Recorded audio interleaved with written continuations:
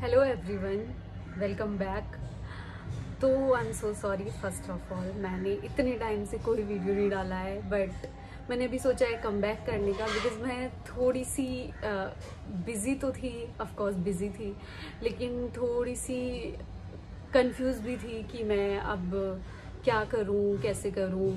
तो मैंने सोचा है कि अब मैं फिर से फ्रेश स्टार्ट करती हूँ और आप लोगों के लिए एटलीस्ट वीक में एक वीडियो ज़रूर डालूँगी। तो यस अभी फ़िलहाल मेरा फेस बहुत ख़राब हो गया। इफ़ यू कैन सी मुझे यहाँ पिंपल्स आए थे एक महीने पहले, जिसके ये, अगर आप देख रहे हैं तो ये अभी भी कुछ कुछ थोड़ा थोड़ा बचा हुआ है। तो मैंने सोचा कि चलो, अगर मैं ये कर ही रही हूँ, इसका ट्रीटमेंट करती ही हूँ मैं तो आप लोगों के साथ भी शेयर कर लेती हूँ। एज एन एक्टर मुझे मोस्टली डेली ही मेकअप करना पड़ता है या तो अगर सेट पे होते हैं तो मेकअप करना पड़ता है। अगर आप घर पे होते हैं तो ऑडिशन के लिए आपको मेकअप करना होता है या तो आप घर से बना के भेज रहे हैं तब भी मेकअप करना होता है। अगर आप आउटडोर जा रहे हैं ऑडिशन uh, के लिए तब भी आपको मेकअप करना पड़ता है। मतलब एनी हाउ आपको मेकअप करना ही पड़ता है। और मेकअप इतना क्या है ना मैंने पिछले कुछ मंथ uh, में तो मुझे इतने सारे इधर पिंपल आ गए। बस यहीं पे आए थे।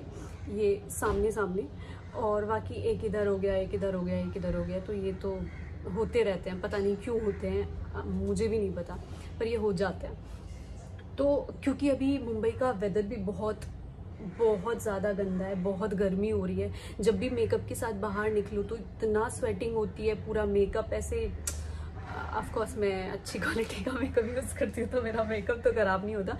बट हाँ शायद मुझे ऐसा लगता है कि जब स्वेटिंग होती है तो आपके पोर्सेज ओपन होते हैं। और जब पोर्स ओपन होते हैं तो जो आप मेकअप लगाते हो ऑफकोर्स मैं प्राइमर और आ, सब पूरे प्रोटेक्शन के साथ बाहर निकलती हूँ सनस्क्रीन लगाती हूँ प्राइमर लगाती हूँ टोनर लगाती हूँ, तब मेकअप अप्लाई करती हूँ। बट स्टिल आपके पोर्स ओपन होते हैं मेकअप अंदर जाता है तो मुझे लगता है ये पिंपल शायद तभी होते हैं बिकॉज़ मुझे लाइफ में कभी पिंपल नहीं हुए।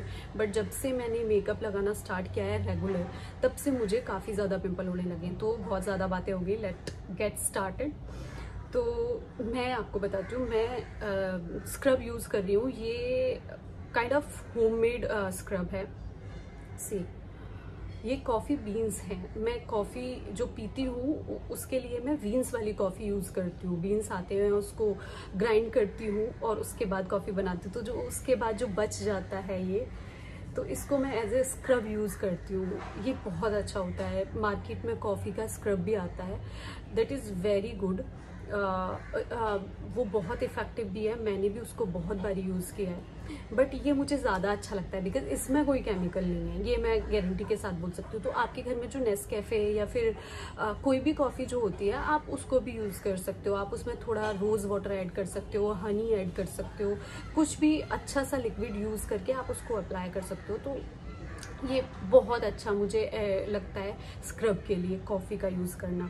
तो मैं ये यूज़ करने वाली हूँ। तो मैंने कॉफ़ी बना ली थी तो ये आज आज वाली फ्रेश कॉफ़ी है तो मैं इसको ऐसे थोड़ा सा हाथ पे ले लूँगी। इसके बाद इसमें मैं थोड़ा सा रोज़ वाटर यूज़ करूँगी। ये डाबर गुलाबरी का है।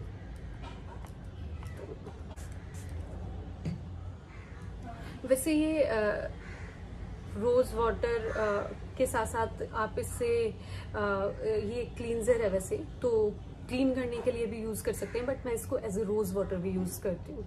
क्योंकि डाबर गुलाबरी में बहुत सालों से यूज़ कर रही हूँ तो यस तो ये ऐसे हो गया। इसको हम थोड़ा सा फेस पे लगाएँगे।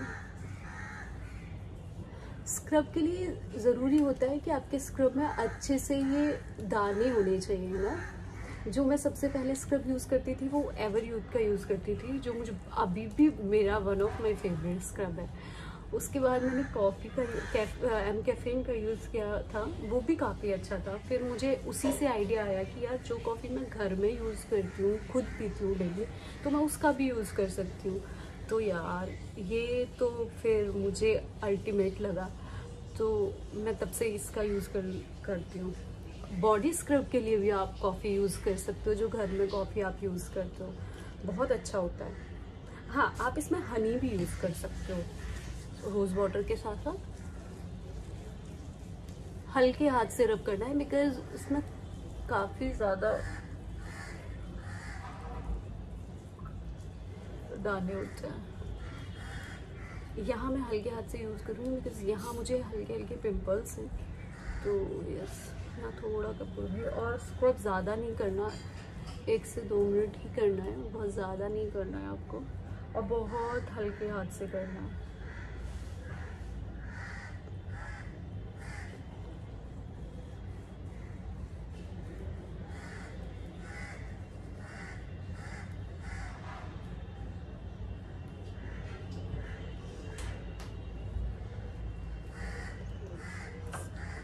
थोड़ा थोड़ा रोज़ वाटर लगा के।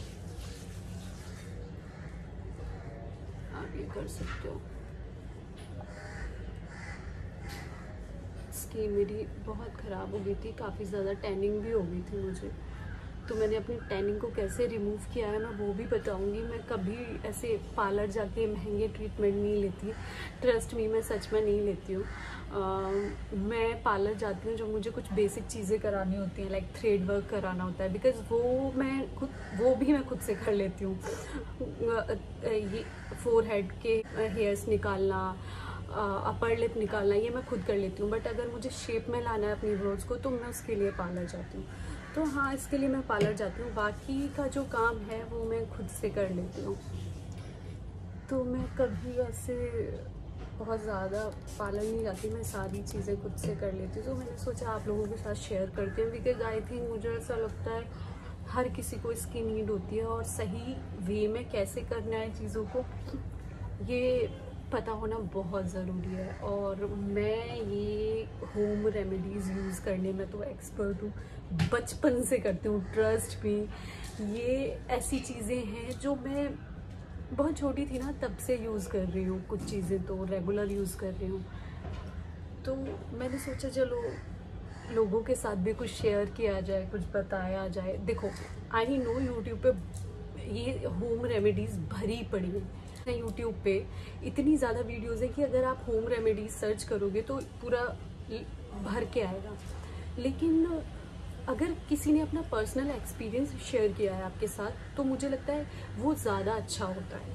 अब ट्रस्ट में अगर आप ये करेंगे तो स्किन सच में अच्छी होती है। हाँ इसका इफ़ेक्ट जो होता है, वो इंस्टेंट आपको नहीं दिखेगा। जैसे अगर आप पार्लर से कुछ भी करा के आते हो तो एक इंस्टेंट ग्लो दिखता है। इसका ग्लो धीरे धीरे आता है, लेकिन वो काफ़ी लंबा चलता है। तो जो जो इंग्रेडिएंट्स जो जो प्रोडक्ट मैं आपको बताऊँगी, आप उनको यूज़ करना जैसे जैसे बताऊँगी वैसे वैसे यूज़ करना बिकॉज़ इसका भी रूटीन होता है। आप कुछ भी कभी भी यूज़ नहीं कर सकते। ठीक है?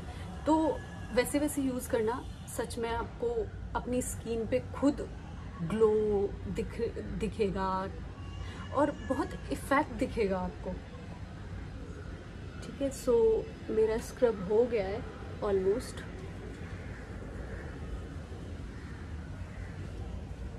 इसको रब करके हटा लेते हैं क्लियर कर लेते हैं. देखो, इसके बाद आपको वॉश करने की नीड भी नहीं पड़ेगी. आप ऐसे हटा सकते हो, अगर आपने हालिया नहीं किया तो वो चिपकेगा नहीं फेस पे. इसके बाद आप कोई भी फेस पैक लगा सकते हो कोई भी। मैं जो फेस पैक लगाती हूँ वो मोस्टली सैंडलवुड का लगाती हूँ या तो फिर मुल्तानी मिट्टी आती है ना उसका लगाती हूँ। बिकॉज़ मेरी जो स्किन है वो नॉर्मल स्किन है ना तो ऑयली है और ना ही ड्राई है। तो मेरे लिए ये अच्छी बात है कि, कि मैं कुछ भी यूज़ कर लेती हूँ मेरे फेस पे बट अगर आपकी स्किन ऑयली है तो आप आ, मुल्तानी मिट्टी यूज़ कर सकते हैं। बहुत अच्छा होता है। सैंडलवुड यूज़ कर सकते हैं। बट अगर आपकी स्किन ड्राई है तो मुल्तानी मिट्टी एंड सैंडलवुड का भी ड्राई मत करना अपने फेस पे। बहुत गंदा हो जाएगा। और हाँ अगर आपको पिंपल्स हैं स्किन पे तो मैं बोलूँगी कि सॉफ्ट थोड़ा सा लाइक छोटे दाने जिस स्क्रब में होते हैं ना वो वाला स्क्रब यूज़ करना, बहुत हार्ड स्क्रब यूज़ मत करना और बहुत हल्के हल्के हाथ से अदरवाइज़ तो क्या होगा ना कि फेस छिल सकता है, उससे घाव हो सकते हैं आपके फेस पे।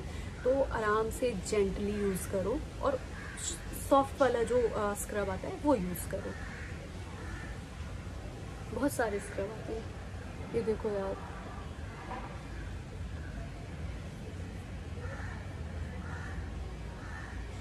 तो इस वीडियो में इतना ही गाइस नेक्स्ट वीडियो में मैं कुछ और होम रेमेडीज़ बताऊँगी जो ऑफकोर्स आपके लिए काफ़ी यूज़फुल होंगी. तब तक के लिए bye guys love you take care